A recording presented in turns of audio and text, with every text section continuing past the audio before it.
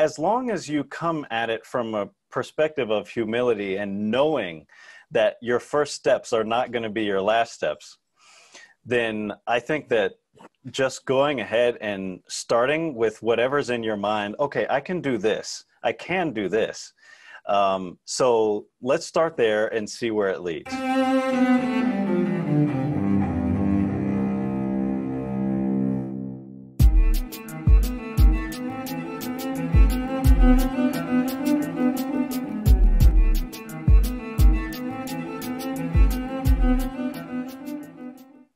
Welcome to Arts Engines. I am your host, Aaron Dworkin. And with us today, we have Steven Banks. Uh, as with all of our guests, you can check out his full bio and all of that online. He's an extraordinary saxophonist, uh, actually, I believe the first to be on Young Concert Artists roster, regularly performs with the Cleveland Orchestra, is on faculty at Ithaca College, uh, and is an extraordinary champion for works by Black composers. And we're going to check that out as well on today's show. So, with that, welcome, Steven. Thank you so much for having me. I'm so excited to get to chat with you today. And uh, and so it's great. I mentioned that kind of that you were the first saxophonist on YCA's roster. I should also share with everyone this week's show is co-curated with Young Concert Artists, who's one of our wonderful and extraordinary creative partners for Arts Engines. Uh, so, but what was that uh, experience like with with YCA? I mean, I know they've you know impacted so many artists' lives in in extraordinary ways. What was that experience like for you? Well, in short, it was a dream come true. Um, I, as a saxophonist, as a classical saxophonist specifically, I think you just really need a chance. You need a shot to get out there and perform in front of people and to have a chance to do the touring because you can't change minds unless you're there in the room. So, um, being a part of the Young Concert Artist roster has has been so helpful for me um, to get some exposure, um, but also to bring light to all of the issues that I'm so passionate about. It it they they give me in in a way um, a voice to many of the passions that I've had for for many years. So, for example. Um, I, I've already uh, started the commissioning progress process for three new works by Black composers, and I've only been on the roster uh, since November. Um, and one of those pieces is is by myself, um, and one of them is by the composer Carlos Simon, and one is um, still sort of in the early stages, but a saxophone concerto by uh, Billy Childs, who is a fantastic composer. So um, these are opportunities that I certainly would not have had otherwise, and so I'm eternally grateful for those um, opportunities. That's awesome. No, it's amazing, and of course, an extraordinary organization. Um, so, kind of before we get into, because I really want to delve a lot more into this process of you know commissioning and and also composing, and just kind of and how that works, and especially how a lot of our viewers uh, might begin to think about it for themselves. But but before that, kind of what how did how did you kind of get your start? You know how did you start out? Um, what brought you to the saxophone? And and from there what kind of brought you even beyond that into composition? Yeah so um, i started out as i think many saxophonists do in the you know middle school band program.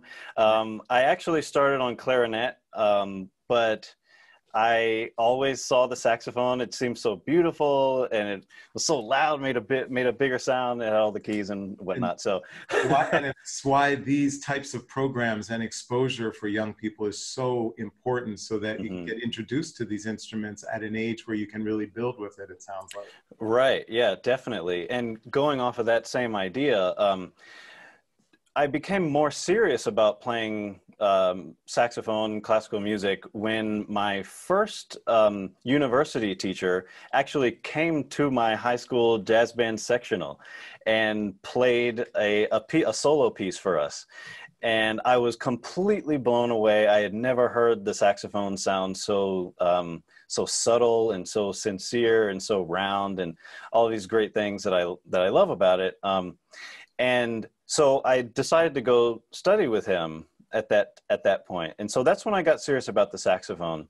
Um, but I think that I got serious about my greater sense of purpose in the music community um, when I was in my master's degree at Northwestern, and I was in my second year, and as many people do in their second year of of or, of their masters, they're starting to think about, well, what am I going to do in life? right. And um, I started having conversations with myself and having to really sort of think about the deeper questions of what it means to be a musician. And that's when I started reflecting on sort of my experience as a musician and, and started realizing um, how othered I had just always felt as a as a musician in the conservatory, and things that I had just never even considered not feeling, um, like being the only person in the classroom or the only person in an ensemble that looks like me. I, I just had never really even thought about them because it was so second nature. Um, and at that point, I got I got really passionate about changing that for myself and for future generations uh, of musicians. And so I started learning a lot more about Black composers um, throughout history. And um, that was actually one of the first times that I felt compelled to write music because all of a sudden I felt more like my voice mattered because throughout history, going back to the 1700s, our voices had mattered in in this type of music and um, it was a real deep uh, revelation um, for me that has completely changed my life, I think. Wow, that is just extraordinary. And I know, you know, when I was uh, studying at Michigan, same thing. I went into a lesson one day and my teacher said, you know, do you want to play music by Black composers? And I didn't know there were any and began to learn about that. And so when you began that kind of journey of, of discovery, um, of these works. Was it difficult, or how did you go about finding out about these works or about this history that that you may not have been aware of before? And along with that, can our audience follow those same, same footsteps? How could they learn about the, this extraordinary history and a lot of this music? Mm. Well, yeah, it was difficult. Um, but I think at this point, there are enough resources out there where you can at least make your own path to try to find what you're looking for. Um, so I actually remember at that at that time I started talking to some of my professors and they pointed me towards you. Um, and I reached out and we were able to to chat and you told me about Joseph Bologne actually for the first time. And I will never forget the first time I heard Joseph Bologne's music because I I literally sat in my apartment and cried because there was something there I connected with it in some way that I just could not really express.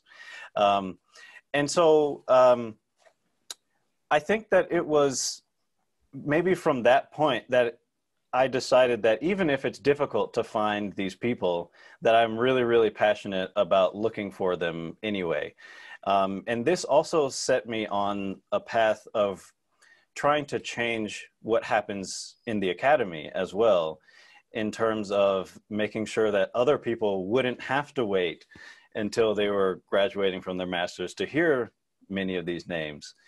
So um, I think for our listeners, um, there are a lot of places to, to look. For musicians specifically, um, Rob Deemer's Institute for Composer, Composer Diversity is a great place to start looking for repertoire um, by Black composers, female composers, composers of color in general. Um, I, I, think that's a really good place to start if you're just looking to to get in, in, into this for the first time. You could you could stay in there for hours. Totally. Awesome. Great. So, in terms of, you know, kind of one of these statistics that always, you know, it's just kind of still, you know, haunts me, which is, you know, in our orchestral world, that, you know, less than 1% of all the works performed by all American orchestras are by any composer of color.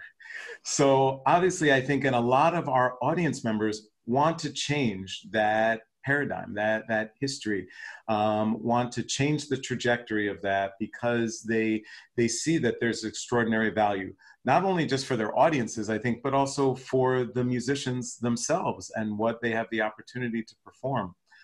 But I know that in a lot of conversations I sometimes have, um, you know, our, our orchestras, like any, you know, the organizations set up, different people need to make decisions and also regular work is there and you know you've got things and, and especially with pandemic you know things are even tougher.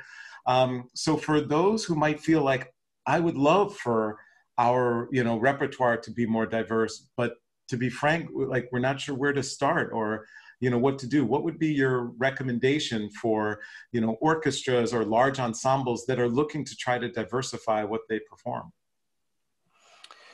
Well i think the the first piece of advice would just be to start.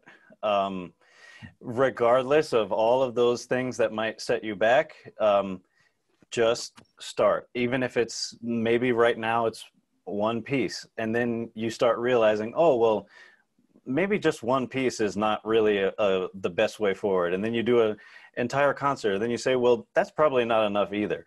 Um, and then you start realizing more of the nuances uh, of how to do this in the best way possible um, by diversifying your your board and diversifying the conductors that you bring in and diverse you know because they will all have different um, areas of expertise um, diversifying your musicians and those things sort of happen as maybe a snowball effect. As you as you get your feet wet then you learn more and you continue learning more. Um, so as long as you come at it from a perspective of humility and knowing that your first steps are not going to be your last steps then i think that just going ahead and starting with whatever's in your mind okay i can do this. I can do this um, so let's start there and see where it leads. Awesome. Great. So as you kind of look at, you know, it seems like a lot of people are like, it's impossible to plan now with all of the things going on in our society and especially the pandemic, kind of, you know, where are things going to be for me? Do you, do you have kind of a, a plan for this next year? What's, uh, what's what's coming up? What's your sense of kind of some of those key things that you want to make sure you accomplish uh, for this next year? Well, um, for me personally, I think a lot of it is has been related to learning really how to use technology. um, because so many things are possible. I can I can keep performing as long as I have um, good microphones and uh, good camera and things that that make it all look um, to a level that I'd like for it to. Um, and if I learn how to package it in a certain way, and and my students can keep having a meaningful experience as long as we're all able to hear each other, um, and and things like that. So I think at this point I've I've sort of settled in to the pandemic lifestyle and i realize now i still have a need to share music. I still have a need to advocate. I still have a need to write music and i can still do all of those things. I can still collaborate with other musicians. I, I recently started a vlog series called um, curious dyads and it um, it's sort of a cross between a vlog and a podcast and a performance outlet. So um, I I interact with other musicians that I really really admire and we have a conversation and then we also do a collaborative performance at the end of each episode. And so things like that have just been really keeping me feeling inspired inspired not expired feeling really inspired right. because um, some of those people I wouldn't have had the opportunity to collaborate with otherwise. Mm-hmm. Um, and being new to the Young Concert Artist roster, in a way, this sort of levels the playing field. So those people that I might have been nervous to interact with before, now I can just say, "Hey, let's do something. You're not doing anything, so let's do it." awesome, awesome. And you know, it sounds like from this, you know, I hear a lot of people where you know they kind of certain things arose or they were either forced into or thought of because of the challenges of the pandemic but then they actually find that there are some extraordinary opportunities that were created and things they might even continue once things you know at least settle down in terms of the health crisis. Do you find that is will be the case that kind of those things that some of these things that you've initiated you'll keep going even after the the health crisis has passed? Absolutely. Um, i it's really funny you say that because even just um, right before um, I had the chance to talk with you today, I was doing a an Adobe Premiere Pro workshop for the other faculty at Ithaca College, which for me is totally wild. Um, I'm not really a technology person, and so having those skills are gonna those skills are gonna be with me for for life. Awesome.